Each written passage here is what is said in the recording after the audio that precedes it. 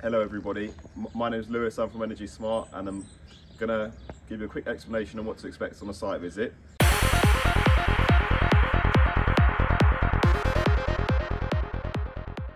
So when we arrive on site, once we've explained, introduced ourselves to the customer, we'd normally come back on the outside of the property, just to have a visual look, just so we've got our bearings of the property. And we have to take a few photos for auditing purposes. So what we do, we normally start outside the front, then we'll work our way through to the back just so we see the whole property, as we have to split the property into extensions.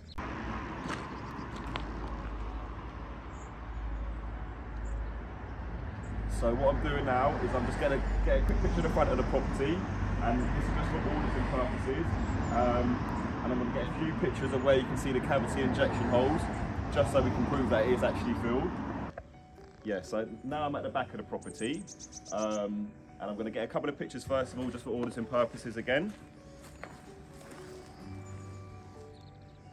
And now we're at the back of the property. We can see the property's got a single story flat roof extension at the side. So we're gonna have to split that up to account for the flat roof there. And this property is a bit of an unusual property.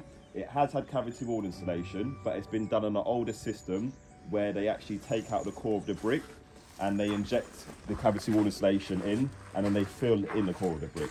It's a bit of an unusual one, but you can see one injection hole here, just underneath the window. And if you look each side of the window, you'll be able to see another one here.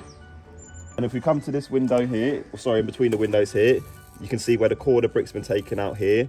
And I'll show you one more. And we can also see this one here where the core's been taken out, the insulation's been injected, and then it's been filled back up. All right, so that, that's me all done on the outside of the property. So for the rest of the assessment, we'll be inside the property. Um, a normal site visit takes about 20 to 40 minutes, depending on the complexity, complexity of the property, and then the rest of it is all finished from the desktop.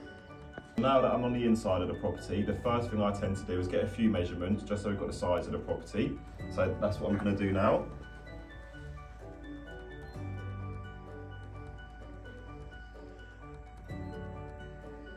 So that's the first measurement I need.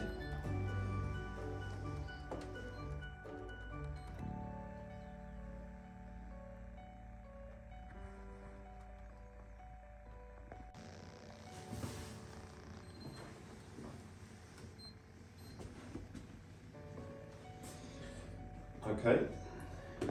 So now that I've got all the measurements for the property, I've put them all into the software. And what I've done here, you can see this area here is the main house. And this blue part here is the single story flat roof extension. And this software actually calculates all the areas for you and all the heat loss elements for you. So you can see these areas here are the heat loss walls for the main house. And these are the heat loss walls for the extension here.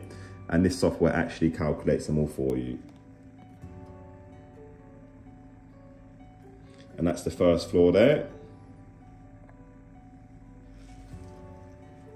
So now that I've got all the measurements for the property, I can see that the property's got central heat, got a central heating system. So the first thing I'm going to do is find the boiler. I need to take a little bit of information off that, the, the exact make and model number of the boiler, and we have that in our database, and that will tell us everything we need to know about the boiler. So the customer's told me the boiler's in the in the downstairs bathroom here, so that's where I'm going to work my way to now. Same thing again, I've got to take some information off the boiler itself.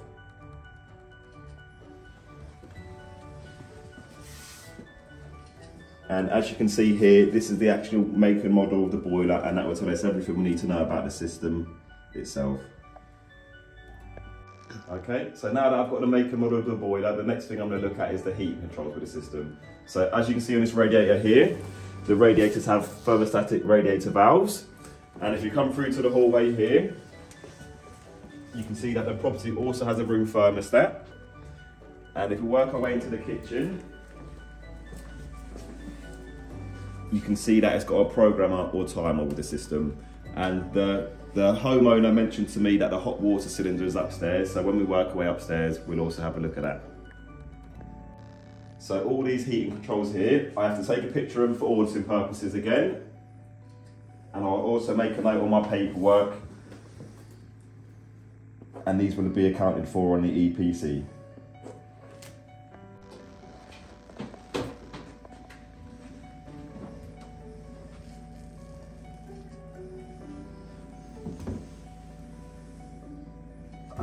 So now we're upstairs with the cylinder.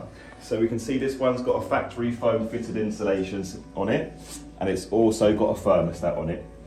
So I'm going to make a quick note of that, and I've also taken a picture of it for auditing purposes.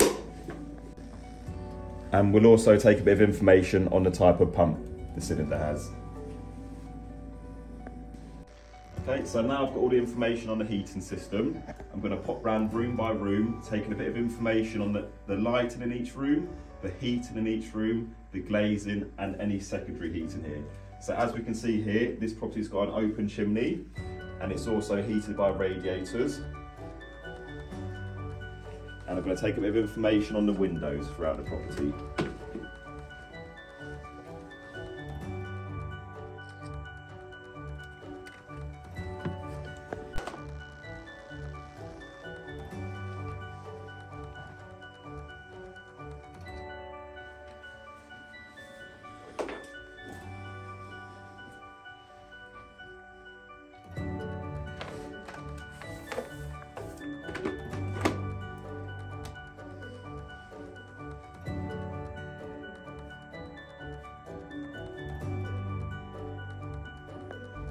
Okay, so what I'm going to do here, I'm just going to get a measurement of, measurement of the walls just to show the wall thickness. And this is just for auditing purposes again, and it's just to show that it's a normal cavity construction and it's, and it's not a solid brick wall there.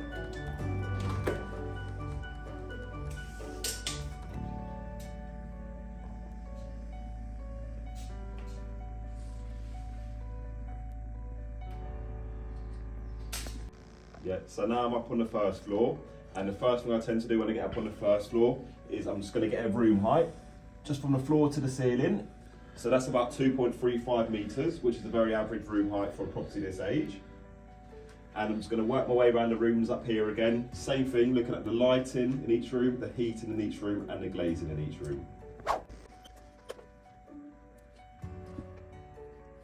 Everyone.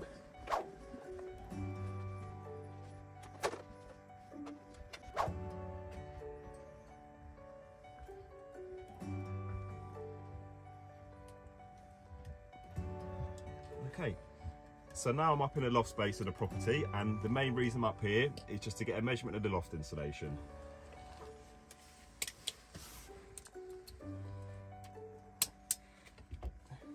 So I've got my tape measure in there and it looks like this loft has about 100 mil of insulation or four inches. So most of the time as we're popping around the property, we can get most of the information we need from the property itself. Sometimes homeowners may have done additional work like loft conversions, updating double glazed windows, insulating walls internally, and in them instances we may need some documentary evidence just to support what the homeowners told us. So that's my site visit done. The rest of the rest of the assessment is all done from our accredited software and the EPC will be lodged onto the EPC register. I hope you found this informative.